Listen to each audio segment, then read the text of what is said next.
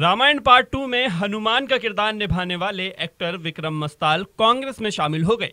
छिंदवाड़ा में उन्हें कमलनाथ ने पार्टी की सदस्यता दिलाई और कहा कि विक्रम मस्ताल ने सच का साथ देने का फैसला किया। विक्रम मस्काल जी ने कांग्रेस में प्रवेश किया।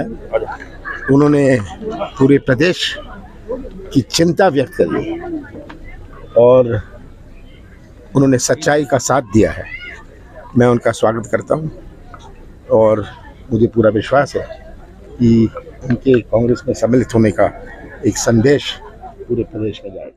विक्रम मस्ताल सीएम शिवराज के गृह ज़िले सीहोर के रहने वाले हैं। विक्रम मस्ताल से पूछा गया कि विकास के छिंदवाड़ा और बुद्धनी मॉडल की तुलना कैसे करते हैं तो एक्टर ने ऐसा जवाब दिया। देखिए जो धर्म के साथ है जो न्याय के साथ है जो जनता के साथ है जो जनता के सुख दुख का साथी मैं उनके साथ। क्या बूंदी चुनाव लड़ने की तैयारी है आपकी? देखिए आज तो मैं सिर्फ़ सिपाही बना हूँ। मुझे कांग्रेस पार्टी जो भी आदेश करेगी मैं उसका पालन करूँ नर्मदा नदी की आपने परिक्रमा करी। जी। क्या कमियाँ पाई थी आपने सर क्या कमी नहीं है। अवैध खनन शहरों का गिरता हुआ गंदा पानी।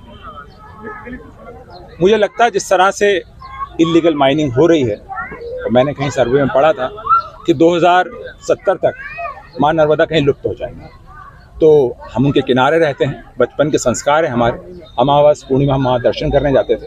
तो उनकी रक्षा करना हमारा धर्म बनता है और वो सब राजनीति से भी ऊपर है। विक्रम मस्ताल ने यह भी कहा कि मध्य प्रदेश में धर्म युद्ध हो रहा है, क्योंकि महाकाल लोक में भी भ्रष्टाचार सामने आ चुका है और वो सच का साथ देना चाहते हैं। विक्रम नर्मदा में हो रहे अवैध खनन पर एक फ़िल्म भी बना रहे हैं। हालाँकि चुनाव लड़ने को लेकर विक्रम मस्ताल ने कहा कि पार्टी कार्यकर्ता के रूप में वो शामिल हुए हैं। चुनाव लड़ना या न लड़ने का फैसला पार्टी करेगी। द सूत्र की खबरों को देखने के लिए प्ले स्टोर और एप्पल स्टोर से डाउनलोड करें हमारा ऐप द सूत्र। आप हमारी खबरें द सूत्र डॉट कॉम पर भी देख सकते हैं। Social media platforms Twitter Facebook और इंस्टाग्राम पर भी हमें फॉलो कर सकते हैं। साथ ही यूट्यूब पर भी हमें सब्सक्राइब करें। यदि आपकी नहीं हो रही कोई सुनवाई और आपके पास है कोई खबर तो हमारे WhatsApp number seven double zero double zero two four one four one पर भेजिए और बनिए हमारे सूत्र।